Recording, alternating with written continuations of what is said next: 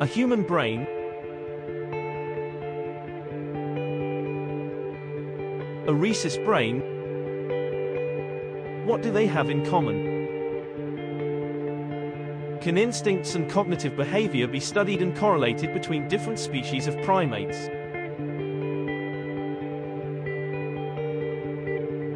Can modern technology help?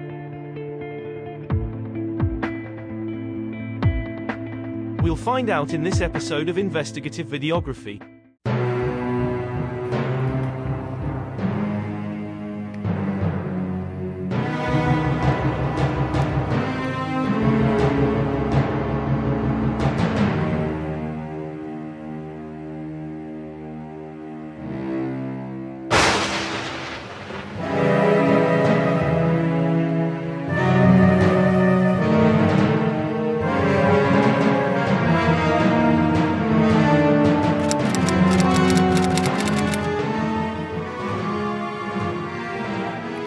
Yes, that's Lowena, the increasingly frail matriarch of the namesake troop. And there are two of her daughters, Bo and Foxy.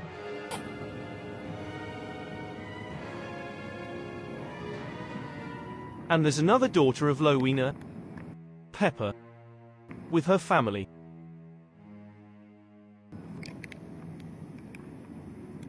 And that's Guajio, Pepper's last daughter born in 2022. Pepper is one of the younger daughters of matriarch Lowena. She began to bear grandchildren for her mother in 2019. So far she has one boy and three girls. And they all have been raised successfully as we speak.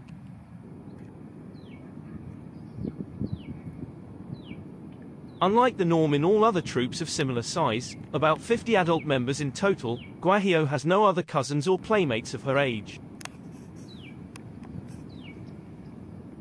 Indeed she is the only baby in Lowena's troop in 2023. Yes, she's the only one who has made it, unfortunately.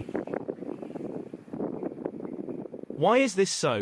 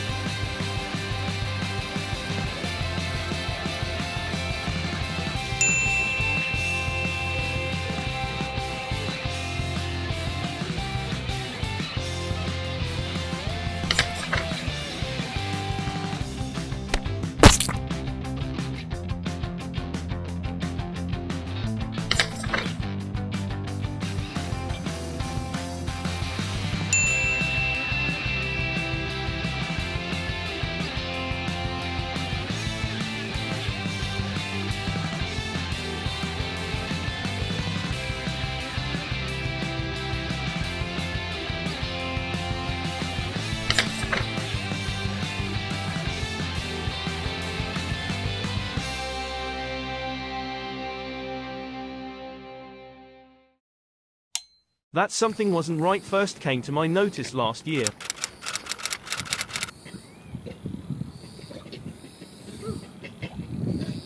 When a female, whom I was told later is Bo, an older daughter of Lowena was caught on camera holding, no, more precisely, kidnapping someone's baby.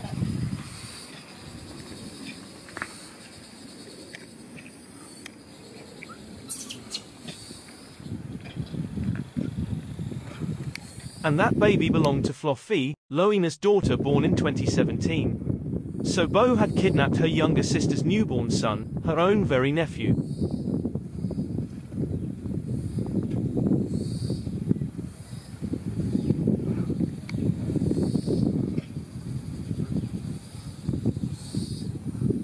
And there's Foxy, Lowena's daughter born in 2018, her last kid.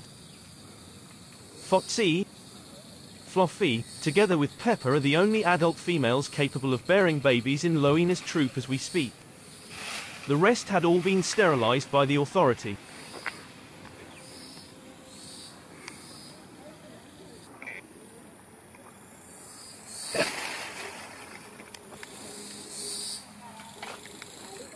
That son of Fluffy was probably only a few days old, and it was odd and very rare that a mother would allow anyone, even her closest relatives, to babysit her newborn.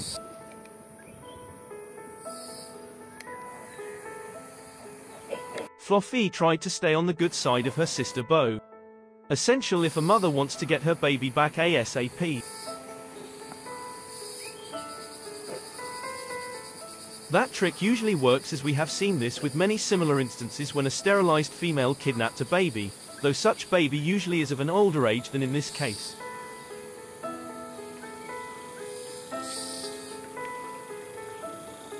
Fluffy's younger sister Foxy was here to help.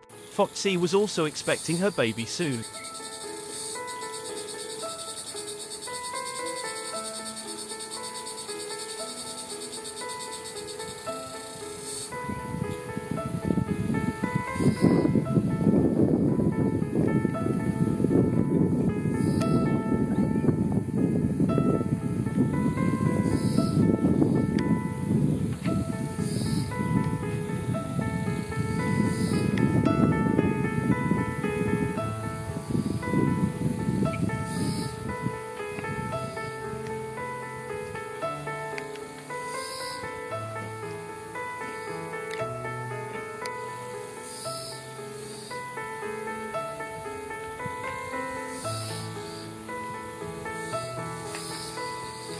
I couldn't help but wonder what's on her mind, putting her newborn nephew under so much distress.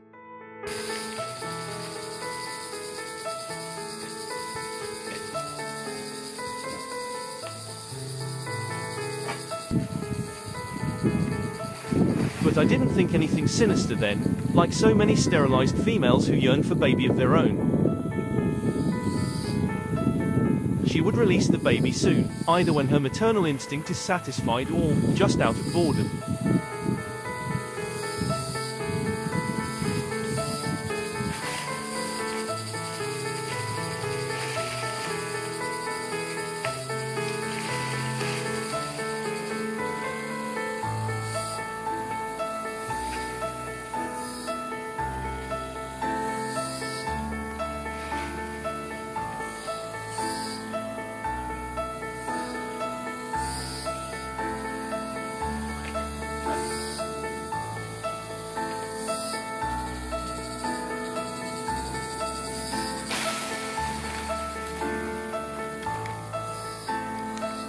And there's their mother, Lowena, who didn't spring into action at all. That baby was her grandson, and one of the very few babies in her bloodline in four years.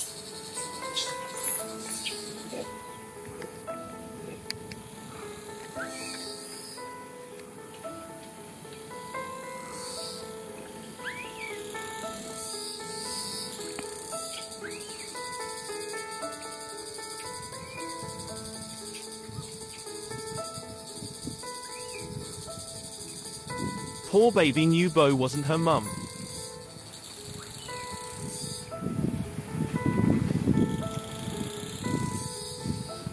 Sometimes goodies might help to distract, and most kidnapping females would rather have a pair of spare hands to grab goodies instead.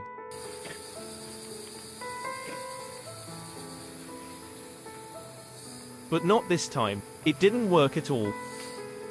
Ironically, the goodies did take Fluffy's concern for her baby away for a moment though.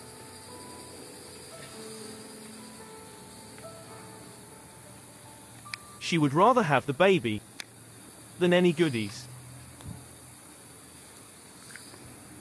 We hear naysayers keep on preaching that a lot of their behavior is food-centric. Clearly this wasn't the case here. Bo valued at that moment at least, something higher than food. It was raining on my way back later on the same day.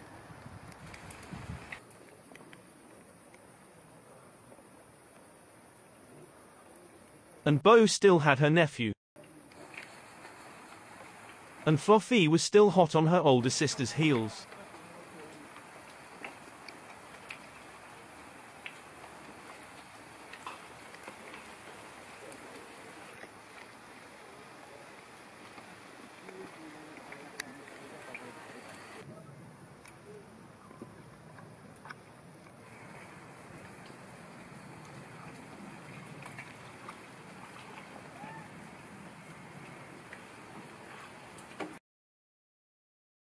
It did look like Fluffy wanted to settle the matter with her sister, Bo by herself.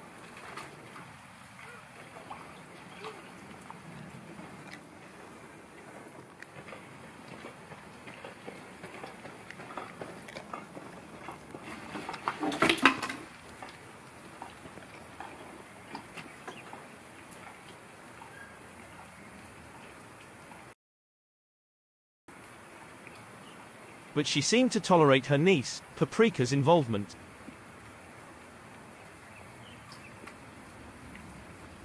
And her younger sister, Foxy too. What happens in the family stays in the family. And it also rang true with them. I first spotted him an hour to two earlier on. So Bo had been holding on to her newborn nephew for at least a good few hours, or more and there was no way I could follow them as they had all disappeared into the forest above together. But just before I left, I saw Pepper with her newborn, Guajio. I suppose with a sister like Bo, a mother would always hold tight to her newborn. But honestly, I still thought that no harm would come to Fluffy's baby. This is something we have seen quite often in the last five to six years though this was the first time a newborn was kidnapped.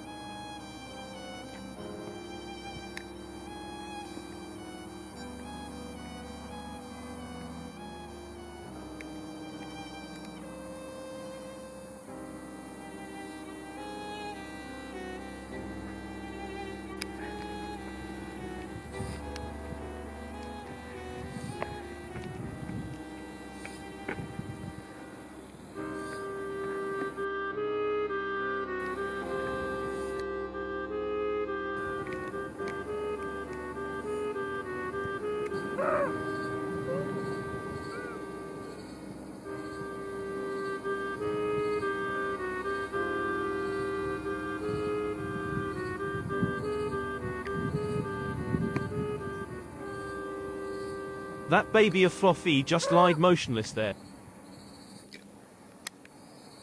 It's dead.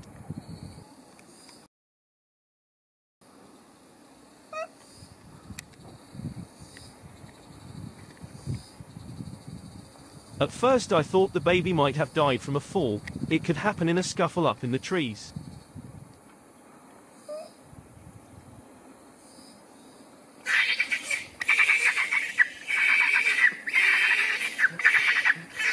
And we know a mother could sometimes become more proactive to get her baby back from the kidnapper if the ordeal had been dragging on for too long.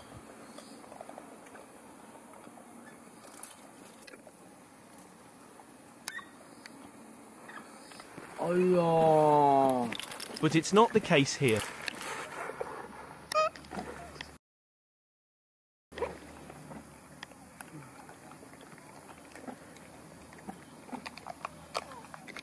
There were no visible wounds or any blood stains, and the baby's rigid posture suggested to me that the baby died while still holding onto her kidnapper.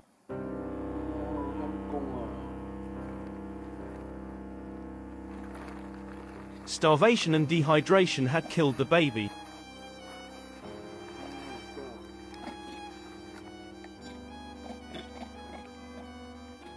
Fluffy's newborn of only a week to two old.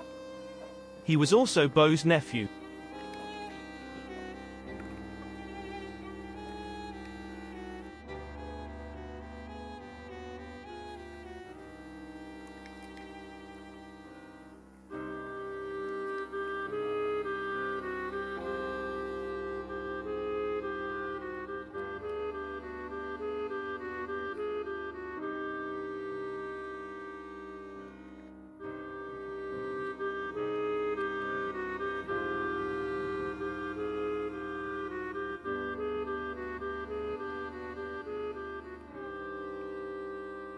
Rigor mortis had just set in.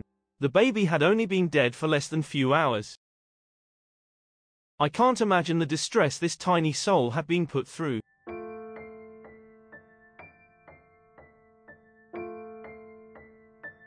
What was the last thing on its tiny mind?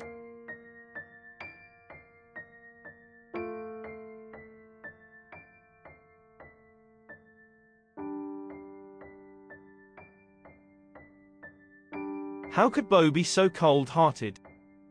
Turning her back on both of her own sister and nephew.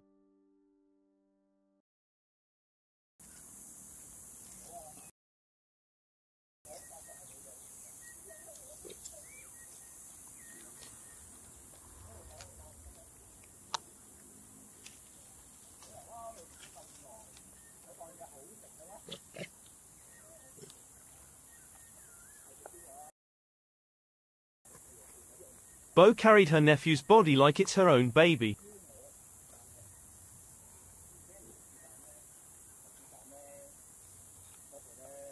And was grooming it like it's still alive.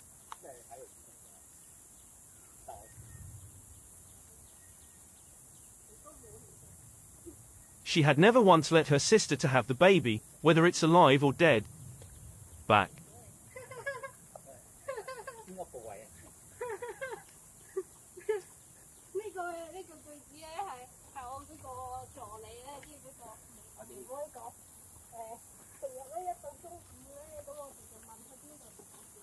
She wouldn't take any chance at all.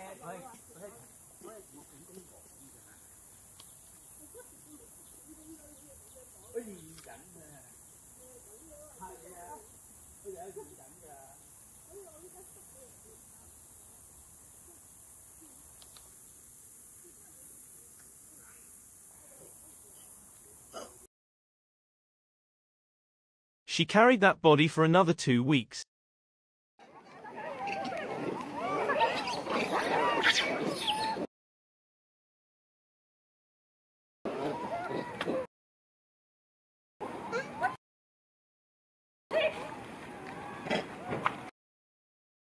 By then Fluffy had more or less moved on, but Bo still cherished and guarded it. Until it had all shriveled up and was no more than a tiny bag of bones and fur.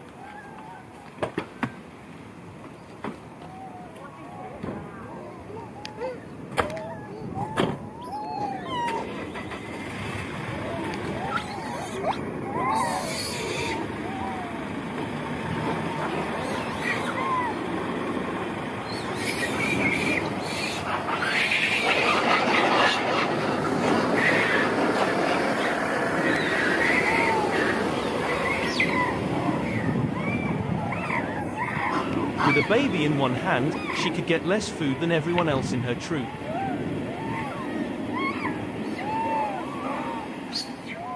But she didn't seem to mind as long as the baby, or what remained of it, was still in her possession. Her behavior seemed to be driven by her yearning for a baby of her own. But it had become an obsession that killed. Let's hope it was just an one-off obsession.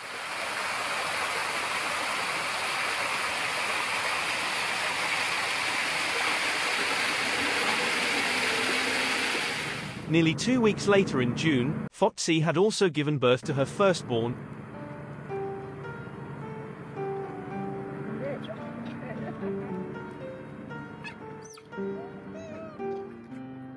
Another boy, Lowena's second grandson that season. I couldn't find Bo around.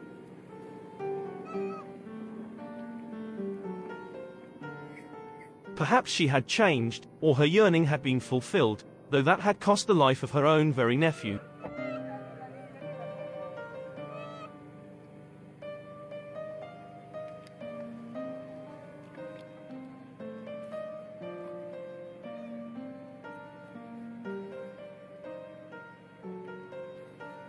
In any case, Foxy must have taken heed of what had happened to her sister Fluffy.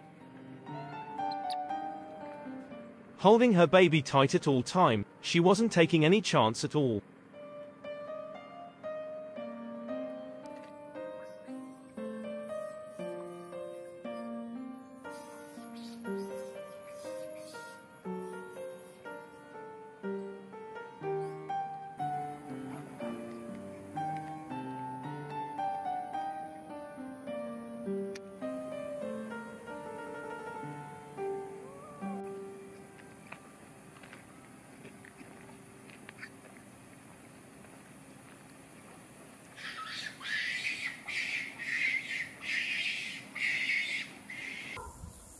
Indeed so, she would rather keep a safe distance from everyone.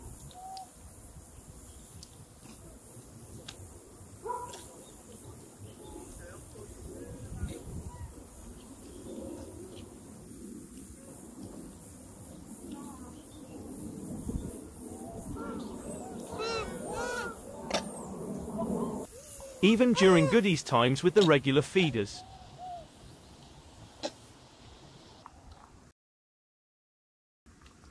No one could come near to her and her baby. Even those who meant well.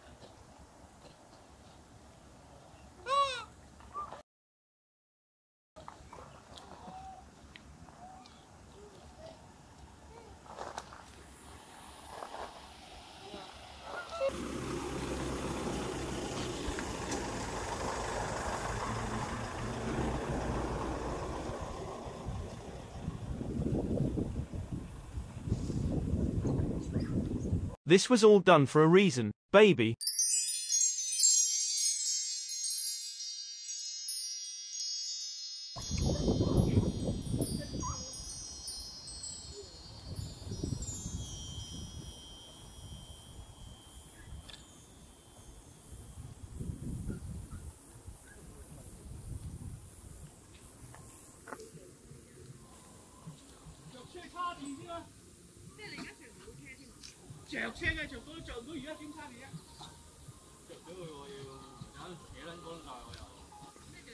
Only her sister Fluffy could come near her.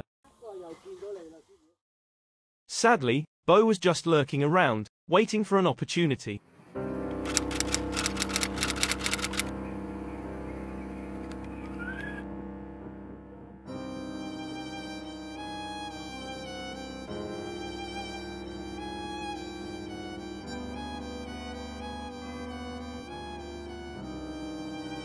It's Bo, she had struck again.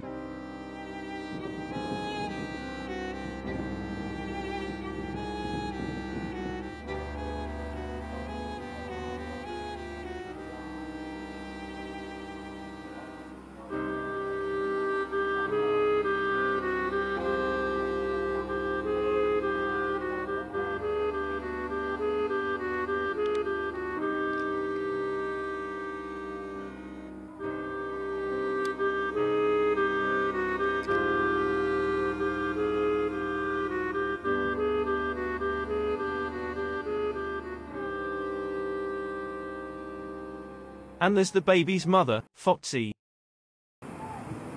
Like her sister, she also took the cautious Doolittle approach. According to the literature, Foxy is supposed to be the heir in waiting, the next most senior female in the troop after her mother, matriarch Lowena. But so far from what we have witnessed in the wild, this is not necessarily the case.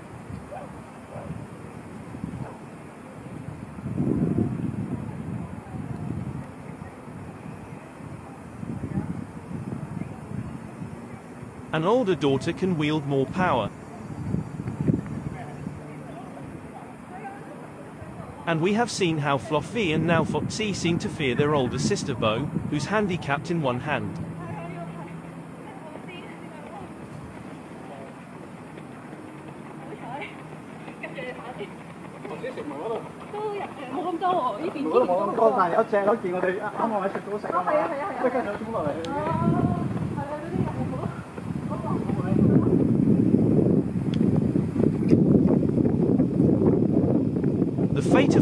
Baby is in her own aunt, Bo's hands.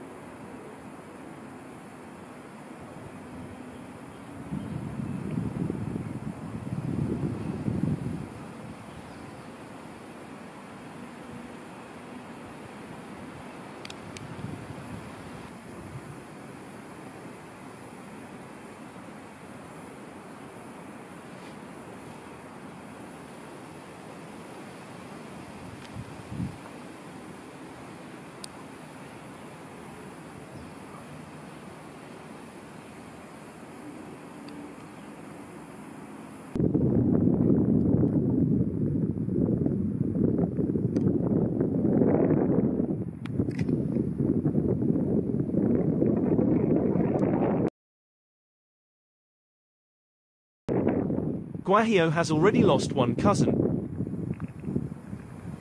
Let's pray she won't grow up alone, like her sister Pikio.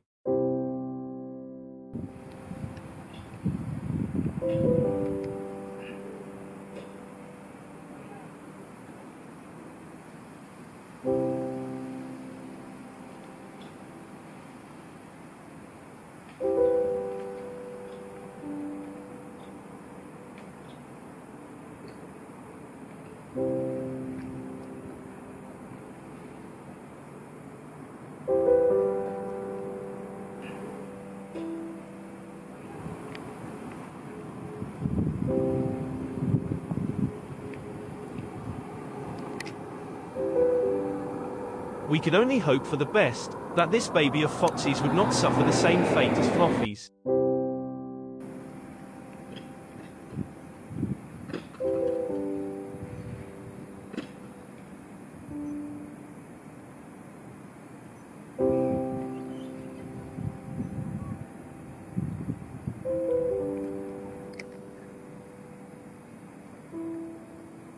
Guajio would surely love to grow up with her cousin.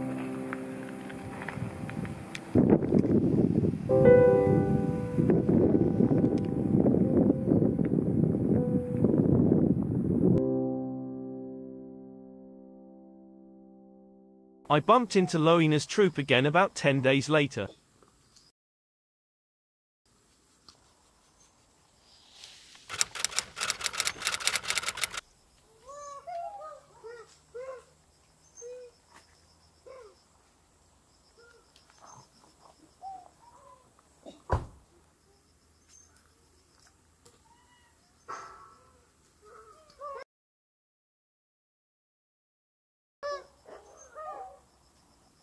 A regular feeder had just arrived.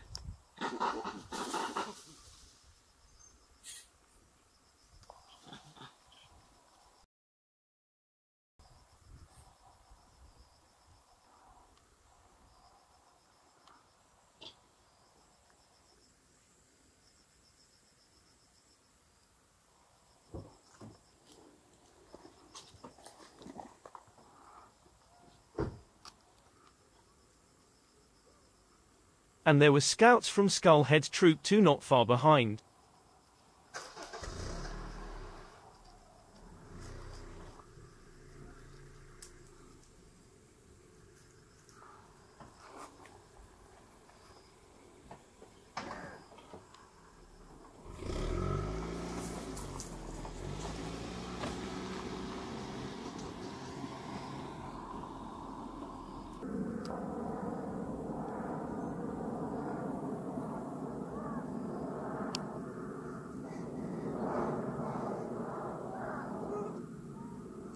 I still couldn't spot Bo anywhere. But further up along the road where the feeder had gone to, I found Foxy.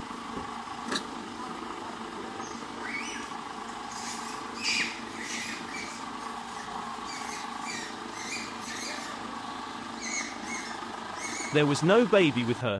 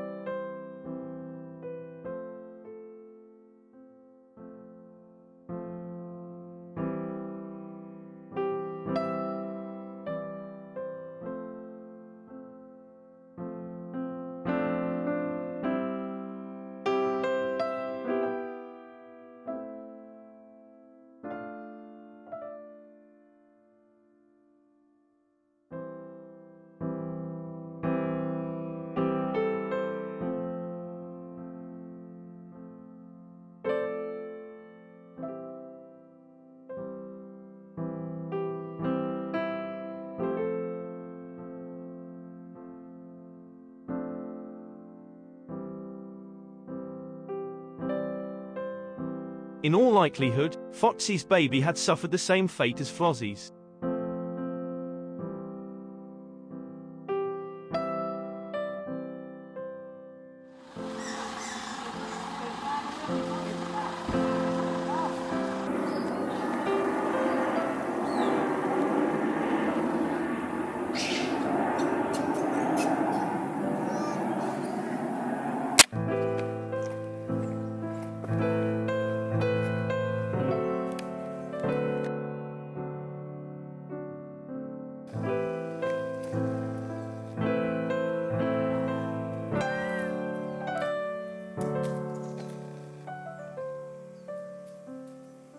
Foxy's boy would be with his mum if he was still alive.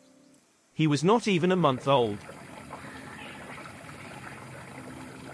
Lowena's troop had lost two babies one after another between mid-May to early July last year.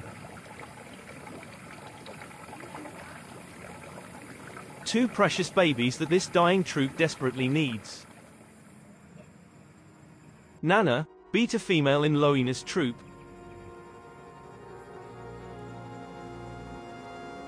All her offspring are sterilized.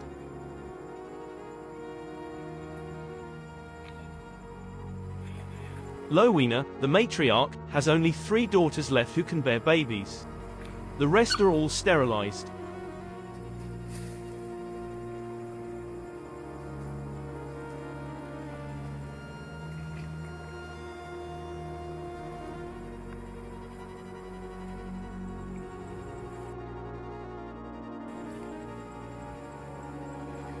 I have witnessed over the last five years the slow but relentless decimation and marginalization of Lowena's troop.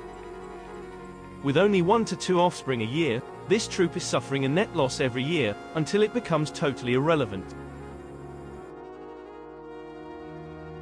Not only are humans responsible with their ill-thought-out sterilization program, but we might have created a killer in one of Lowena's daughters.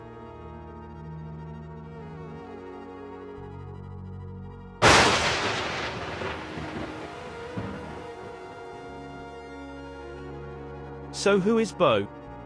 And more importantly, why did she do that to her own very nephews? And was it the first time that she had done so?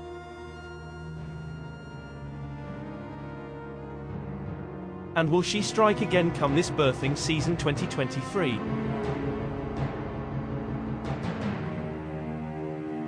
I will try to answer some of these questions in the next installment, by examining footage of her from before, and from other sources too.